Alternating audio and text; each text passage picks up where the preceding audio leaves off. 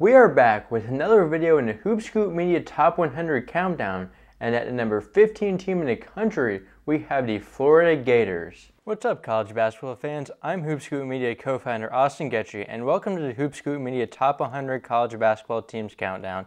In this series, we'll be counting down our top 100 teams for next season and releasing a video every day until the college basketball season begins. If you enjoy this content, please subscribe to our YouTube channel and give our social medias a follow. Simple things like that help more college basketball fans like you enjoy our content. With that being said, enjoy the rest of the video and 99 other videos in this series. Last year was the first year of the Todd Golden era in Gainesville, and it didn't go quite to plan. Florida was a team that showed some flashes, but was never consistent, never winning more than three games in a row all season. The Gators were on the bubble for a little bit, but fell off at the end of the year and lost in the first round of the NIT. However, there's still lots to be excited about with Golden. He's known as a sharp analytical mind and took San Francisco, a school that hadn't made a tournament since 1998, to a top 25 team and March Madness. Despite a rough first year, Florida had a good offseason, and Golden shouldn't be counted out after just one year. The Gators do lose lots of significant pieces from last season. The big loss was Colin Castleton, who exhausted his eligibility. He was elite on both sides of the ball, being named to the SEC All Conference team. They also lost Kyle Lofton and Myreon Jones to eligibility, and Alex Fudge, who started his pro career. A few significant pieces also transferred out, as Kowacie Reeves transferred to Georgia Tech and Trey Bonham committed to Chattanooga. Golden brought in an elite transfer class, but the best player on the team might be returning sophomore Riley Kugel. He was on fire to end last season averaging over 17 points per game over his final 10 games and being one of the most efficient scorers in SEC play. Going into this year, he could be an SEC Player of the Year and All American candidate. Another impressive thing Golden did this offseason is out recruit Rick Pitino for MAC Player of the Year, Walter Clayton Jr., coming from Iona. He's another extremely efficient scorer, shooting over 45% from three point range in conference play and going 102 for 107 from the free throw line on the season. He's a solid passer as well, with over a 20% assist rate. Clayton was arguably the best transfer brought into the conference this offseason and should be able to translate up.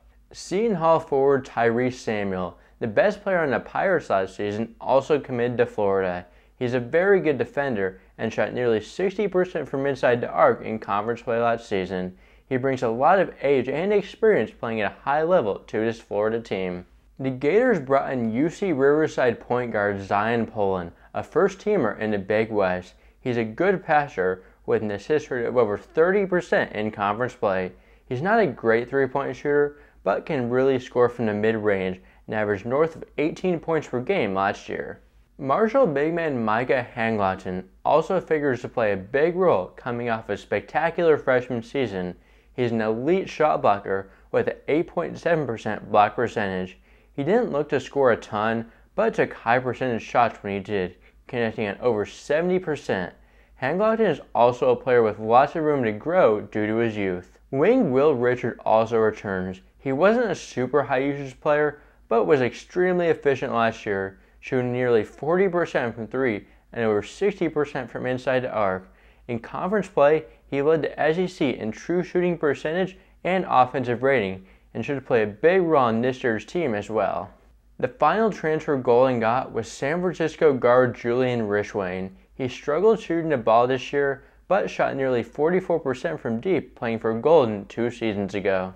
The Gators also returned some bench pieces from last year. Denzel Aberdeen didn't see much playing time as a freshman, but could be in for a jump.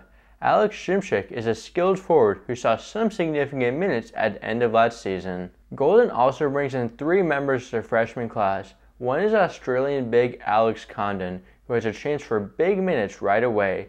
He's very skilled and can run the floor and should make a big impact rebounding. Thomas Haugh is another member of the class.